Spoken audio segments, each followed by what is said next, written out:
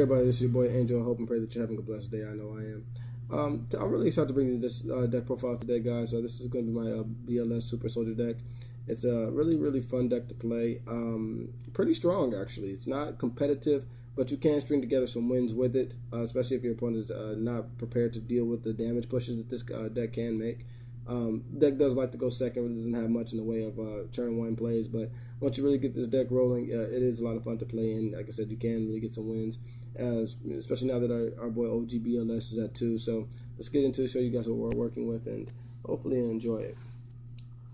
Starting off, running triple super soldier. Uh, card's great. Uh, standing by itself, it's uh, like I said, real solid. It's a good card. Um, what it does is if I attack and destroy my opponent's monster, send it to the graveyard, I can inflict damage to my opponent's life points equal to that monster's attack points. Um, and then if it's destroyed by card effect, I can throw the Gaia, uh, the Fierce Knight monster, out from my deck to my uh, uh, field. So, you know, it's a real solid card just by itself. But um, you'll see as we get into the deck that can get souped up and really, really broken. So, run this at 3 running the one Chaos Max because it is a very welcome addition to the deck. Um, uh, a very good tech. Uh, I decided to add um, very solid all around uh, because simply you know you can't target it, you can't destroy it, and coming up in a format where I think that's actually going to be uh, pretty key. I think uh, we are going to see a lot of you know uh, True Draco invoked. Um, things like that, you know, ABC. I have actually just no answer for this card at all and you know it's so searchable. It has great synergy with the deck. So to me, it's just kind of a no-brainer to at least take it in that one. So running the one Chaos Max. Next up, favorite part of the deck. Looking at this guy together, double BLS. Um, like I said, what can I say? Uh, been a long time coming. Uh, you know, it's kind of a little bit overdue, but I'm just glad Konami finally decided to make the decision to uh, bring it off the list to, to. Uh, he's a little bit slow now um, compared to back in the you know, infancy of the, uh, the game. Uh, back when I was coming up when I was a kid, but uh, he's still very good, very very strong card. He has a load of consistency to the deck and a lot of power as well. So like I said, just glad to see our boy um, uh, Envoy at the beginning off the list and that too, and hopefully be able to get him at three. So double BLS. Next up. Now these are what really really get your uh, Super BLS going. This is what can really really make him an absolutely broken monster. So you're going to run triple beginning knight. Well, when you tribute uh, for your BLS using your beginning knight, what happens is he essentially gets Envoy of the beginning effects in the sense that he can banish one monster on the field and he can attack, destroy a monster, and attack again. But he's not limited uh, like Envoy of the beginning is uh, in itself. So I can actually do both of those things if he's used for the tribute fodder for my BLS. And uh, so that actually makes him really, really strong right there. And then also, if he's banished from my graveyard, I can get a ritual spell card from my um, uh, deck to my hand. So once again, any ritual spell card uh, be able to search that when he's banished. Very, very solid. So I like to run him at three. Next up is Counterpart. Evening, Twilight, Knight. Like I said, I like to maximize both these guys at three because these are the pieces that you do want to see. Um, Evening, Twilight, Knight is very, very good as well. Um, what he does is when you uh, tribute summon for your BLS using him as fodder, um, he gives the, your BLS the ability to banish one from my uh, opponent's hand face down until the next end phase.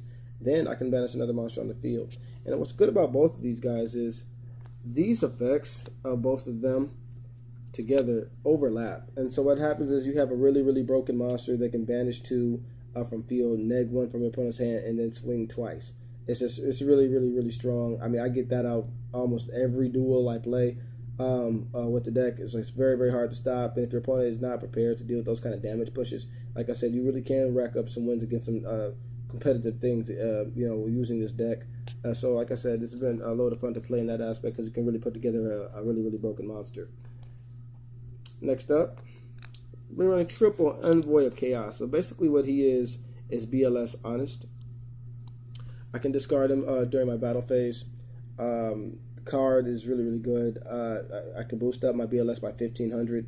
And then what happens is during my end phase, I can uh, banish a light in the dark uh, from my graveyard and loop him back to my hand. And then, especially if you have your um, your evening twilight and your beginning knight in the graveyard, you can trigger their effects to search and then loop him back. So, which again is a really really strong play. Turns into a plus two out of nowhere, as well as be able to get insane uh, amounts of damage on your opponent on your uh, board uh, to your opponent. So, like I said, triple uh, envoy chaos, very welcome addition to the deck, and uh, another piece of what the deck needed.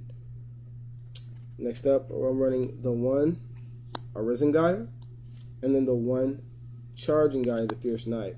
So what each of these does, if he's uh, if my opponent controls more monsters than I do, I can just normal summon him at uh, 23, and um, if he's uh, attributed, I can uh, then special summon one BLS monster from my hand onto the field. Um, then I can also banish him for uh, uh, out of the graveyard for a ritual summon of a BLS. So very sol- uh, solid all around right there. And then charging Gaia, I can just normal summon him, and his attack becomes 1900. So it becomes just a good 1900 beat stick, you know, good opening play. And then if I tribute him, I can then ser- actually search any BLS monster that I want and get that from my deck to my hand. So very solid. Also, he can be banished from graveyard as well uh, for the ritual summon of a BLS. So I to run the one-one split on these guys. They are they are good cards. Um, like I said, you know, I, I, see some builds uh, I've seen in the past don't run them, but like I said, like now that we have a ability to create a more pure build, they are very very strong. So like I said, I would like to run the one one split on those guys. They uh, they do come in handy. Then double sphere Kuriboh. He's actually a very good hand trap. Uh, especially in a deck that does not have very much defensive capabilities. This, this deck's pretty much all in. You know, since it's just, throw, throw, caution to the wind, you go all in with uh, all guns blazing. But he has added a little bit of defense to the deck in the sense that when my opponent declares an attack, I can discard discard from my hand, and then I can change that attacking monster to defense position. Then that is really good because it doesn't target, as well as I can banish him from graveyard for the ritual summon of BLS. So once again, double sphere Kuriboh, very solid. And then rounding out my monsters, run the two Manju. Anytime you're running a ritual deck, you obviously want that extra bit of consistency, and searchability, and so double Manju. Don't need three uh, has been very, very good for me. So I'm probably keep it right around there. That rounds up my monsters there. Then next up, we're getting into the spells. I'm going to be running triple Gateway of Chaos. What happens is when this is activated, I uh, get a BLS monster or a Gaia Fierce Knight monster to my hand. That's mandatory. And um, if you're ever playing against somebody who's uh, running Gateway of Chaos in any capacity, so I've seen it run into in some uh, gimmick decks uh, uh, around here and there um, they have to be able to get a BLS monster from their deck to their hand. Um, so, uh, you know, BLS monster or a Gaia Fierce Knight monster from deck to, to their hand. Um, and so that once again that's mandatory. But when I activate it, I'll be able, I'm you know able to get a free BLS. So my super soldier comes right to my hand, or my Gaia comes right to my hand. And then if uh, anytime a monster or monster is sent to the graveyard, I get a spell counter on the card, and uh, it can hold a max of six. But what I can do is I can remove three and then search for a ritual spell card. And so that's very, very handy because I'm able to, you know, add that bit of consistency as well as, you know, basically search my monster and then get the spell card back in almost sometimes the same turn. So like I said, triple gateway of chaos is, is like I said, it's almost like a ROTA as well because it you know gets your pieces. So very very strong card all around. Uh, like I said, maximize it at three. Next up, the best spell in the deck, and that's Super Soldier Synthesis. Uh, what this does is um, allows me to a ritual summon a BLS from graveyard or my hand. And so, uh, what uh, I'm allowed to do, I can play cards like trade in right now, trade in a super soldier uh, BLS, get the plus, and then be able to summon it back uh, from graveyard using this card. What it does is I can ritual summon uh, any BLS monster with this card, and then I have to send one light and one dark monster to the uh, from you know my hand and my deck to uh, the graveyard to be able to ritual summon that monster. So if you have uh, a dark monster in hand, um, you send the dark monster and then send the corresponding uh, light attribute to the graveyard and vice versa, and then get your uh, ritual summon from uh, hand or uh, or graveyard and get your BLS out on the field. I mean, it's really really strong. You can only use that once per turn, but it, this card is just really amazing. This is what the deck needed, and in my opinion, this card alone really made the deck playable. So, like I said, triple synthesis. Um, I, I really had to claw Konami before this card. This was you know right on, spot on the money. It's exactly what it needs to be able to be playable. Next up, triple trade in. Obviously, because we're running eights and uh, with the ability to be able to ditch an eight and still get value off of it in the graveyard. Uh, very very strong play at the deck. Um, so you know, be able to maximize on trade in for that bit of consistency as well as your convenience because you can uh, get the equity of, on your BLS anywhere. Very very strong all around. Uh, next up, double allure. So because we're running a lot of dark targets, and uh, you know, like I said, be able to banish, you know, two of those to plus four essentially, excellent card. So uh, but it's, it's just you know, being anytime I'm able to run Allure of Darkness, I, got to do it. it. It has to be done. The deck does need some draw power. It's it's really really amazing card all around. So, very, gotta love it.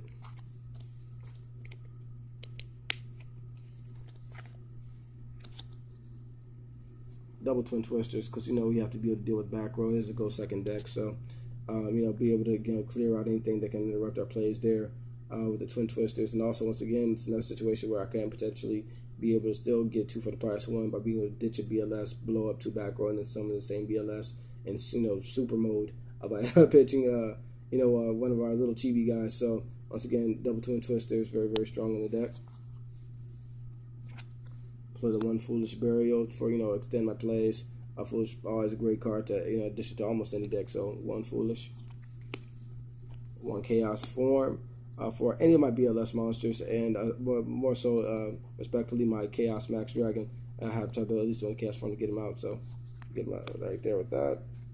Play the one Raigeki for board wipe because as I said we love going second with this deck and one beginning of heaven and earth. Though this is a card that's really really good actually because what it does is um, I flip it, I reveal three warrior type monsters uh, from my deck, including at least one black luster soldier monster or one Gaia of the fierce knight monster, and then I have my opponent randomly select one of them.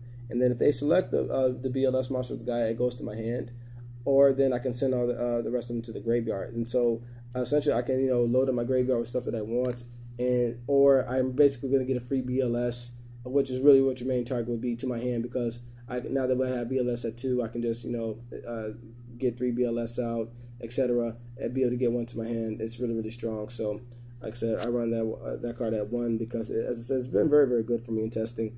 Um, and you know, it's something that uh, ironically I didn't pay much attention to until um, BLS came uh, off the list yesterday, and I had a buddy of mine, you know, uh, mention that to me as a tech. So I, am glad that he did because it really, really added a wrinkle to the deck, a, a lot of power to it as well. So I love that. Um, next up, just going to the extra deck a little bit. Um, you know, that's this is obviously all up to you know personal preference, but you know this is just what I'm working with for the time being. Uh, triple Utopia package. Like I said, anytime I'm running uh, rank fours of any kind, I'm going to uh, utilize this package right here. I love it just like that. Um, triple Utopia because I like to be able to uh, make them 5,000 twice in a duel. Gotta love it. I'll play the one cat, uh, Karen Gorgon. Um, you know, I think True Draco is going to be around some capacity, and I think he'll be handy for that. And his targeting effects, being able to control how that goes on the field, is real, uh, real is real solid in itself. So, play the one Karen Gorgon. Play the one Castel. Uh, because it's Castel, we know what he does. You know, be able to clear, you know, problem things off the board. Yeah, like I said, run the one Castel for the one dweller still up there with the best rank fours in the game. Gotta gotta gotta have this in your toolbox. One Daigusto to pop. And that's it for my rank fours, I believe. And then I run the one Lancelot because this is actually one of my favorite rank eights altogether uh, ever released. Uh, be able to attack directly, pop something on the field, then negate any effect. Um, very very good card. Then run the Galaxy package. Uh, I consider, you know, my Harbinger part, you know, part of my Galaxy package. These four guys right here. Anytime I can make eights, uh, you know, when I have the option to do so, I'm going to run those four guys right there. Real solid, real strong. Um, you know, like I said, very, very convenient. Get you out of tight pinches, wins your games. This really, this can really get you out of a, a lot of tight spots. Be able to pop and then have a 4,000 body. Um, and then this right here, this is actually my favorite Galaxy Eyes monster ever printed because I mean, be able to become 5,800 really, really get you out of a lot of tight bonds, uh, binds rather.